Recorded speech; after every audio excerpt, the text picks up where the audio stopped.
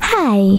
In front of me is Sony Xperia C5 Ultra and today I would like to show you how you can turn on or off autocorrection on this device.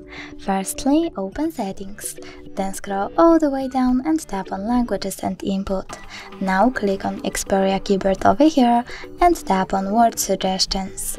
Over here in order to turn on autocorrection you need to click on I want to have my typos autocorrected.